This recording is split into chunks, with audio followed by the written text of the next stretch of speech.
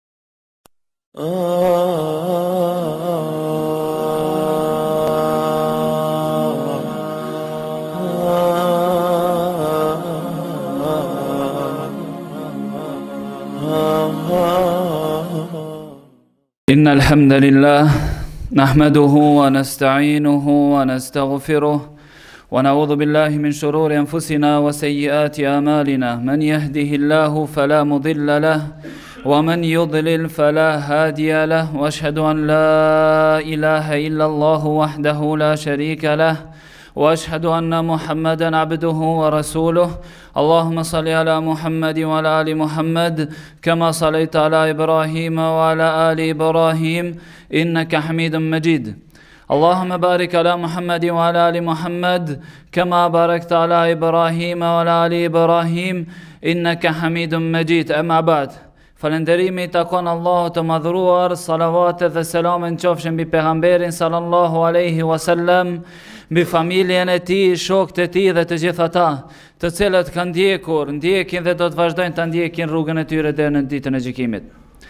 Vëllezër të nderuar, Allahu i madhruar e krijoi njeriun dhe i dha rëndësi sjelljes dhe edukatës së tij.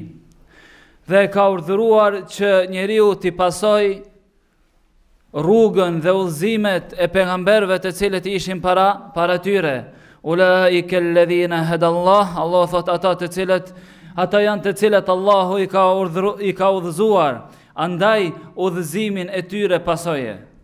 Gjithashtu ka thënë Allahu i Madhruar, ka thënë wa lakum fi rasulillahi uswatun hasana, dhe ju shembullin më të mirë keni në Muhammedin sallallahu alaihi wasallam, në të dërguarin e Allahut.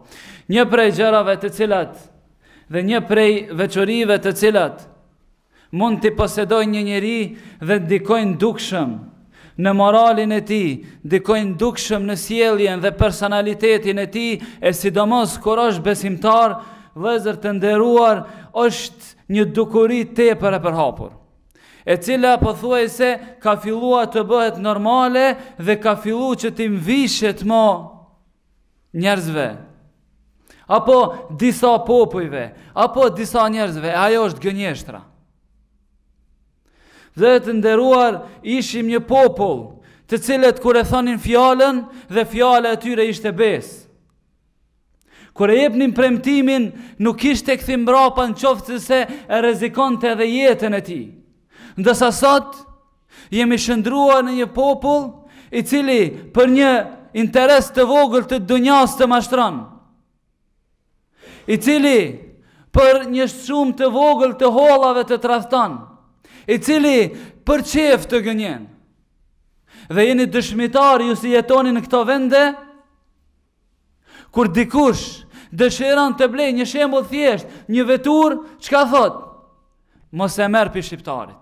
Mos e merr pi turkut, mos e merr pi arabit. Kush janë këto? Këto janë muslimanët vëllezër.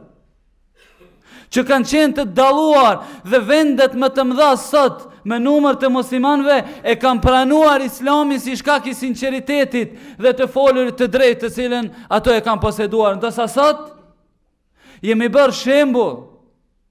Jemi bërë, ne jemi bërë që të bëhet me gisht ndaj tyre se ruju prej tyre se ato të mashtrojnë. Ruju prej tyre se ato të tradhtojnë. Ndërsa pejgamberi sallallahu alejhi ve sellem ça kanë thanë? Mushrikët e Mekës, të cilët e kanë luftu, të cilët i kanë thënë gënjeshta të ndryshme, kur i kanë thënë çfarë si e keni njof Muhamedin, thotë e kena njof sidik, thotë të drejtë. Kurrë s'ka gënjy pejgamberi sallallahu alejhi wasallam. Kurrë. Ndërsa ne fatkeqësisht, më shumë fjalët përmbajnë gënjeshtra pa marrë parasysh, a janë me hajgare dhe tallje apo janë të vërteta, sesa fjalë të vërteta.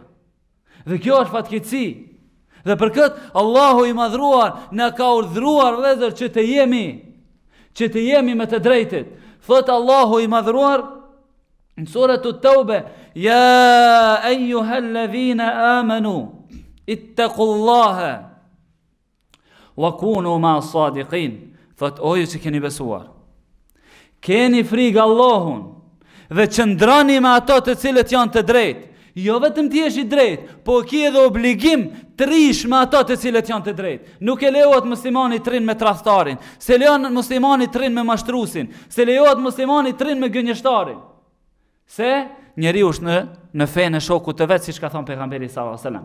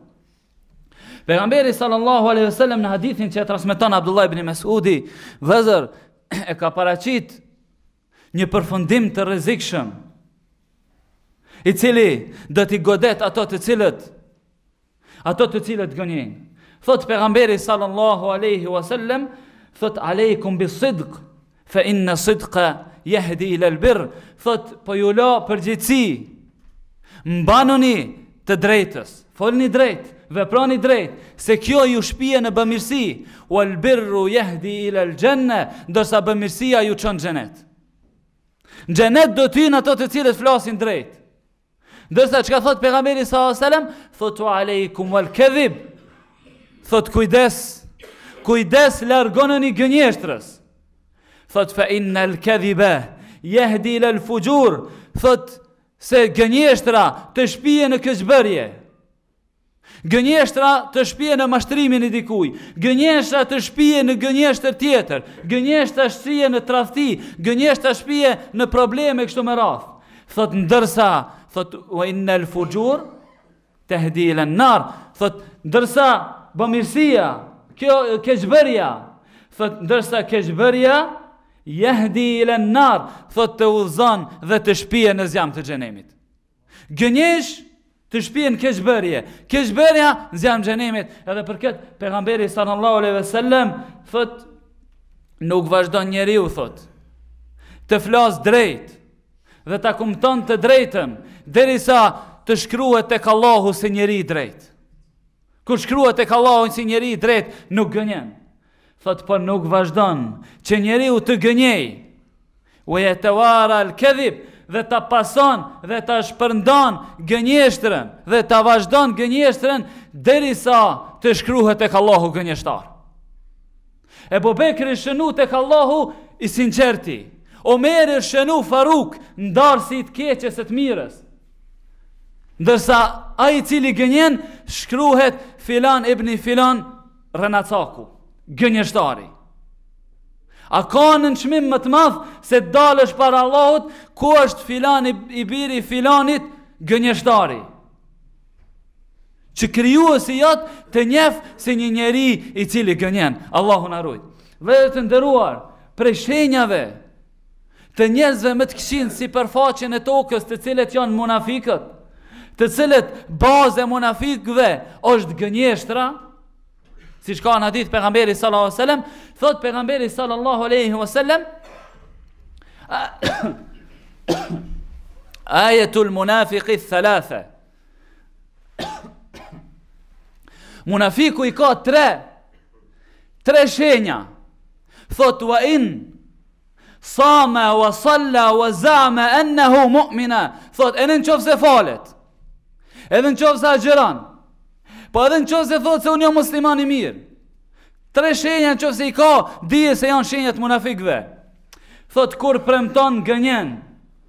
Idha wa'ada kadhab. Thot kur premton gënjen. Idha tumina khan. Thot në qoftë se i jepet një amanet e tradhton atë. Thot wa idha hadatha kadhab. Thot edhe kur flet kur flet gënjen. Kjo është shenja vëllazër e munafikëve, njerëzve më të këqij, çka kur flet gënjen. Dhe ti di e veten se kur të flesh dhe gënjen, Paramendo veten, Allahu na rujt, si një person i cili i cili përfaqëson munafikun. Njeriu më të keq, thot innal munafikina fi darkil asfali min an-nar ka thon Allahu munafikët do të jenë në shtresën më të ulët të zjarrit të xhenemit. Gënjeshtarët, Bazë e tyre është gënjeshtra, vllezër. Dhe për këtë, sa i përket gënjeshtrës, dikush mendon se gënjeshtra është vetëm, e kom gënjy njanin, i kom thonë, kom qenë, s'kom qenë, kjo është gënjeshtër. Jo, gënjeshtra ka shumë.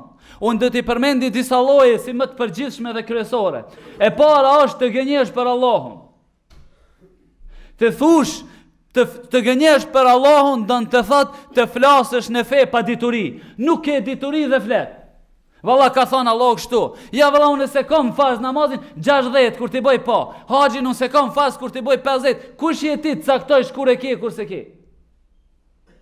Edhe për këtë, Allah i madhëruar thot, inne ledhine jefterune ala Allahil kedhibe la juflihun, la juflihun, thot ato të cilët, Shpikin për Allahun gënjeshtra, ato nuk shpëtojnë.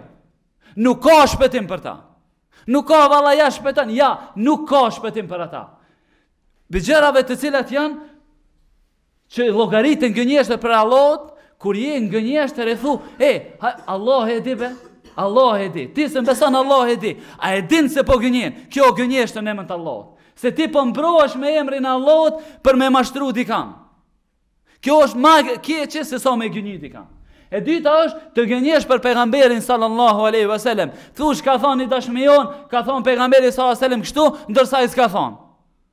Të thush na ka urdhru pejgamberi sallallahu alaihi wasallam kështu, ai s'ka thon. Thush kjo është sunet e nuk është.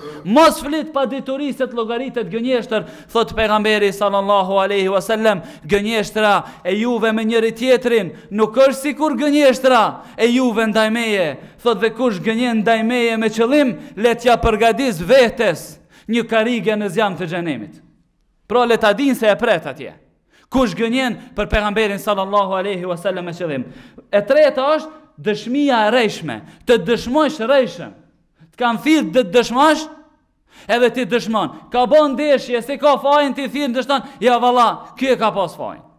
Dëshmi e rrejshme, pa marë parasysh, a është me muslimanin, apo është me jo muslimanin, muslimanit nuk i lejohet që të dëshmoj rrejshën. Të pyt, sa ke punu, dëshmoj se gja dhet sahat i ka punu. As s'i ka punu, që e thot e kom dëshmitar, ai vjen dëshmitar. Thotë unë dëshmoj, unë e kom pa me mu ka qenë. Nuk ka qenë prezent. Kjo është dëshmi e rrejshme. Ndërsa, Allahu i madhëruar ka thënë fexhtenibu rrixhse minel euthani uexhtenibu kaulez zur. Keni kujdes. Largohoni. Largohoni putave, idhujve të ndytë. Se janë të ndytë ato dhe largonuni dëshmisë së rrejshme Allah i ka paraqit bashkë. Bashkë e para ka paraqit largimin nga idhujt edhe largimin nga, nga dëshmia e rrejshme. Për atë, besimtari s'duhet të dëshmoj vetëm se, vetëm se për atë çka është i sigurt dhe është i bindur në të. Ebi Bekrete, E transmeton se pejgamberi sallallahu alaihi wasallam thot a doni thot t'ju dëshmoj a doni ju t'ju tregoj për tre mëkatet më të mëdha tre gjynahet më të mëdhaja a doni t'i dini i kanë thon bela ja rasulullah ka thon el ishraku billah t'i bëjsh Allahut shirk kjo është gjynahi më i madh t'i shoqërojsh Allahut dikën tjetër në adhurim thot e dyta thot uquq al walidain sillesh keq me prindrit mos respektimi i prindërve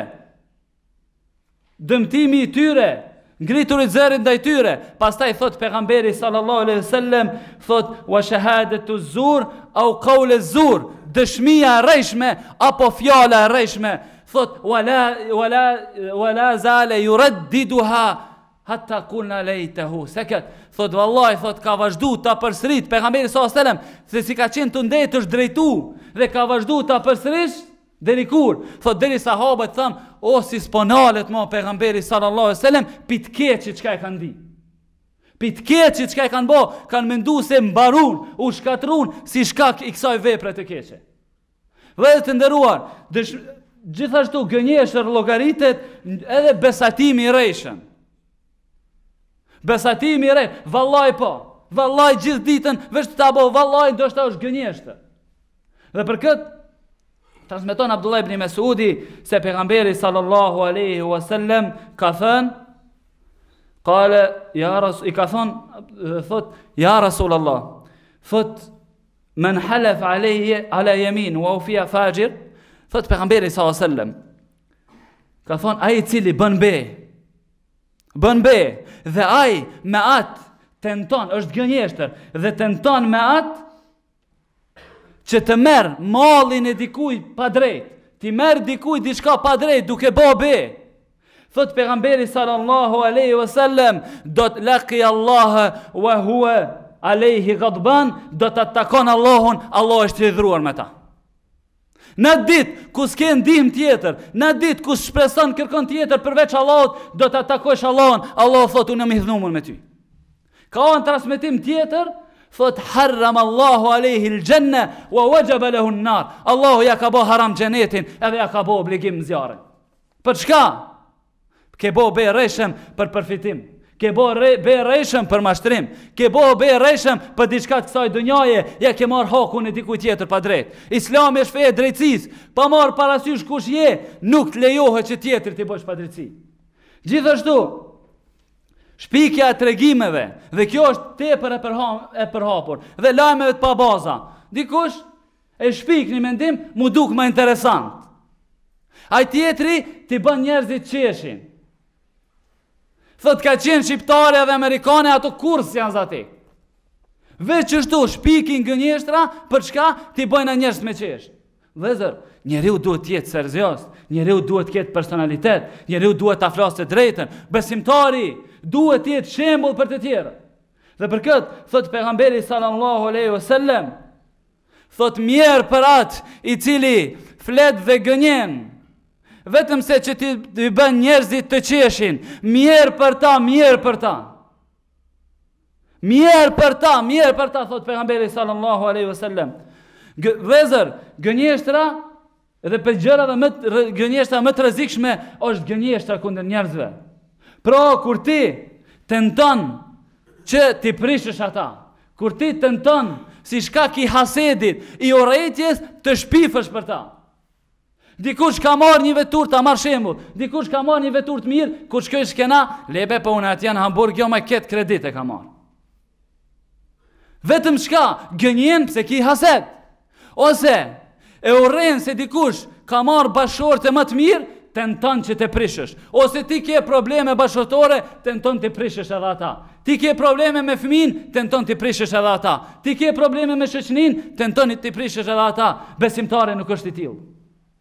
Besimtari nuk vepron kështu, edhe për këtë ka ardhur në hadithin e Semurat ibn Xhundub që pejgamberi sallallahu alaihi wasallam tregon thotë vazhdon këta rastin kur e ka marrë Xhibrili dhe pejgamberi sallallahu alaihi wasallam duke qenë në ëndërr, thotë kom arritur tek një tek disa njerëz. Dhe është trishtu pejgamberi sallallahu alaihi wasallam kur i ka pa. Është trishtu pit t'keqit kur i ka pa, thotë ishin dy persona. Thotë njëri kishte ganxh, e cila është hekur me kthesë në fund, e dini çka varet mishi. Thotë dhe ia vendoste, ia vendoste në gojë personit tjetër, dhe ia shkynte deri në pjesën e pasme, duke ndi dhimbtat normal, dhe pastaj pasi që e shkyente këtë, vazhdonte anën tjetër.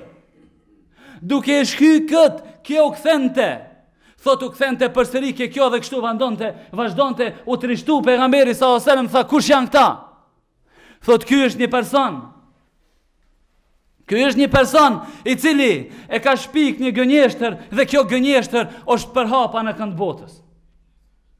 është përhapë nëpër njerëz. Ai e ka shpik i pari, kështu do të dënohet pse njerëzve i bon padrejtësi. Ndërsa sot, i ke kollaj, tre fjalë në Facebook një gënjeshtër, ke dunjaja shpërndahet, boshti atyre. Tre fjalë në telefon njanit, mrrin lajmi n'Maqedoni. Tre, lajmë, tre fjalë tjetrit, mrrin lajmi n'Kosovë, u kry puna. U kry puna. Edhe, edhe kur t'i thush, vallahi thash mos kallzo. Pa po shqiptarët, si t'i thush mos kallzo, atij aty i rri mendja, derisa t'kallzon. Ashtu jena na, si t'i thush mos kallzo aty ka me i nejtë mendja, pa kallzu nuk e le. E plus, gënjeshtër. Allahu na rujt. Vllezër, prej gënjeshtrave tjera të ndaluara në islam, është edhe andra. Pra nuk i lejohet muslimanit me gënjy dhe për këtë thot pejgamberi sa selam thot men tahallama bi hulmin lam yarahu thot kush e shef një ëndër pretendon se e ka pa një ëndër por në Në realitet nuk e ka pa, thot në ditën e gjykimit, do t'i ipen dy kokrra gruri, edhe Allah i thot, boni nyje. Merri dy kokrra gruri dhe lidhi nyje. Qështu ka m'u dënu gjithë kohën, tu u mundu dy kokrra gruri m'i bo, m'i bo nyje Allahu na rujt. A kjo përdoret? Kjo përdoret, valla e kom pa n'andër këtë, sidomos të tritë.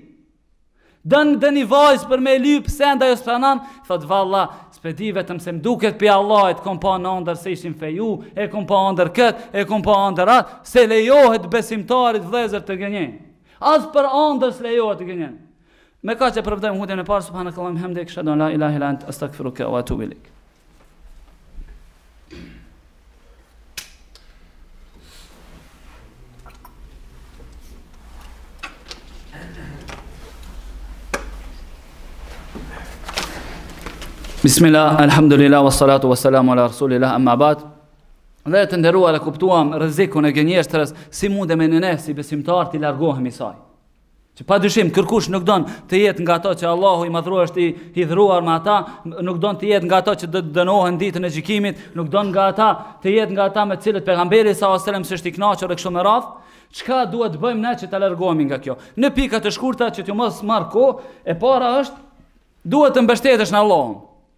Të pendohesh sinqerisht, t'i thush o Zot, unë jam i dobët. Më është mësu goja mo, s'munim pa nejt pak pa pa e zbukuru pak senin. Të lutem ndihmo. Ndihmo, paraqitja sinqeritetin tënd te Allahu, Allahu ka me ta lehtësu. E dyta, duhet që njeriu të jetë i vendosur në atë. Thu o zot, pa pa du me lan, a këmena, këmena i gra, gënjen. Jo, me eduku vetin. E treta është, të kesh frik nga përfundimi i keq. Ka thonë pejgamberi sa a selem, se mund të shënohesh tek Allahu gënjeshtar, në qoftë se vazhdon të, domethonë, të gënjesh. Çfarë dobie ka jeta jote, në qoftë se ka i cili do të gënjen, del ti dhe fjalët tuja s'pranohen, sepse je gënjeshtar. Je gënjeshtar, Allahu na rujt. E, e tjetra është, kujtimi i dëmeve. Pra, nuk do të don as Allahu, nuk do të dun as njerëz. Kërkush s'e don, a si gënjen, një herë, dy herë, tre herë, edhe ma, edhe dini se ai gënjeshtari është njeriu ma i pasigurt, ma i trishtuar është ai gënjeshtari.